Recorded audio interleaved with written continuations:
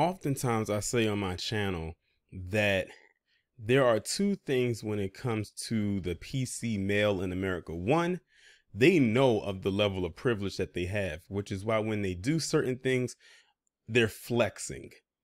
If y'all were around on my channel when I did a series of videos over the summer, mainly in the month of July and partially in August, you saw exactly what I meant. And sprinkled in there was some PC women as well, but especially the men. That's number one. Number two is the Operation Protect the White Boy.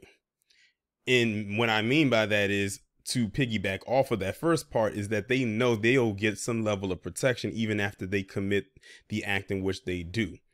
And when you jumbled all of that together, you get the archetype of the of the most dangerous man in America. And this guy right here fits the mold.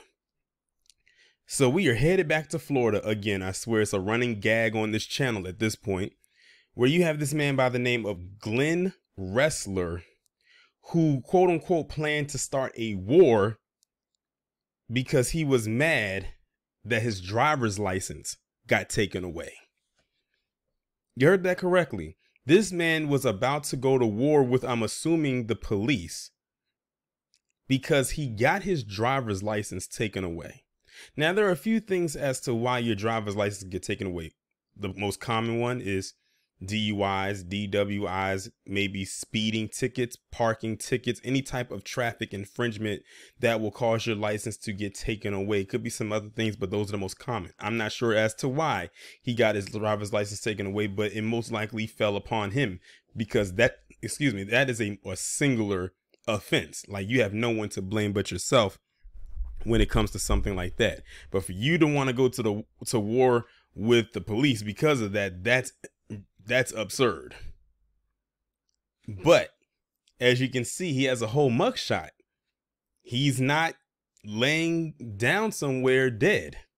That's only reserved for black men. If a black man dared open his mouth and say he wanted to start a war with the police, oh, it would have been over. Hell, a black man doesn't even have to say something like that and it would be over. But let's see what they're talking about. And this story is coming from WOKV.com. It says deputies say a Florida man had planned to start a war because he was allegedly angry that he had had his driver's license taken away. According to a news release from the Putnam County Sheriff's Office, deputies arrested Glenn Ressler, age 42, and charged him with four counts of aggravated assault on deputies and a count of violation of domestic violence charge. PCSO said around 3:30 a.m. on Sunday, deputies received a call about Ressler allegedly arming himself to initiate an active shooter situation with deputies, basically a shootout. PCSO said Ressler wanted to start a war after deputy seized his driver's license in a traffic stop earlier in the day due to it being suspended.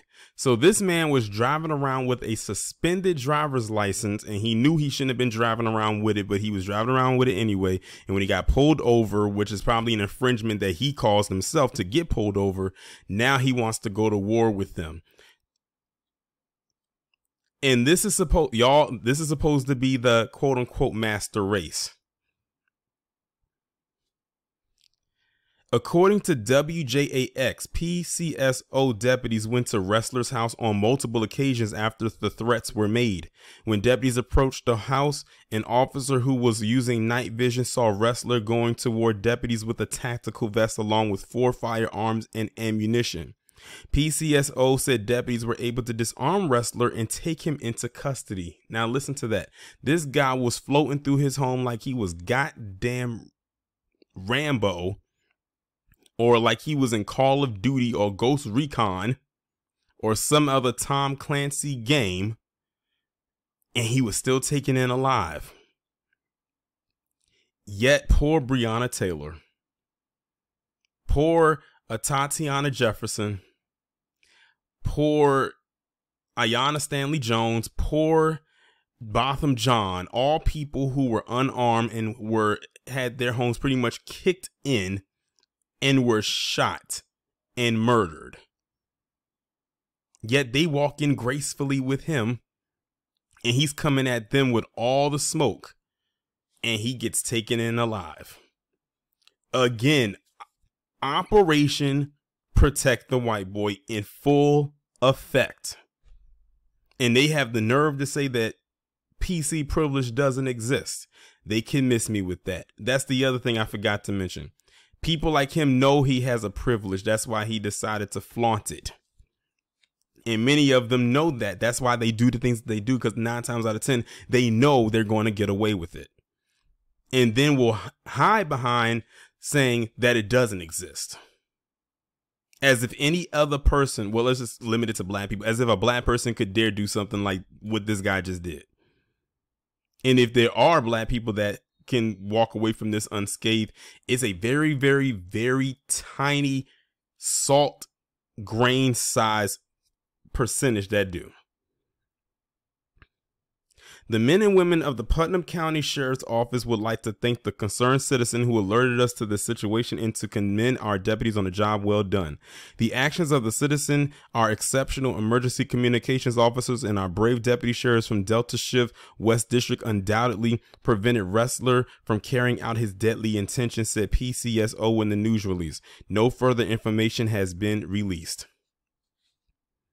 Now, just imagine if he was successful with what he planned on doing.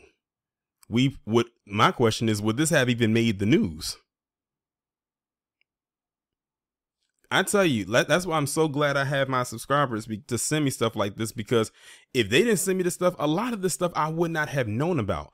And it's crazy because I have followers and subscribers who live in the state of Florida, and as many stories that I do on that state, a lot of them are, are unaware of some of the stuff that comes out of that state. I wouldn't be surprised if this is one of them unless it's a major, major story or something that Ron the Snowflake done said, many of them would not know that it occurred. This story goes right into the pile of the other stories that I was doing over the summer, mainly in July and part of August, where you've had PC get into these shootouts from their home or about to initiate a shootout from their home with the cops. Now, whether they a, a, shootout actually occurred or not, that's another story. But a lot of them they did, and some of them were casualties. And guess what? All of the stories have in common. Every last one of the people that was committing the shootouts against the cops got taken in alive. Not one of them lost their life. Not one. And I wouldn't be surprised if some of them was in Florida too, but I don't remember many of them coming out of Florida. Some of them were some other states, but that's besides the point.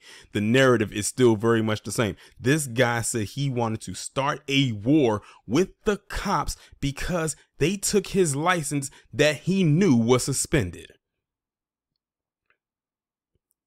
Isn't that some, ain't that some shit? It doesn't surprise me though at the end of the day. It really doesn't. And I know those who are listening to the sound of my voice, it doesn't nearly surprise them either.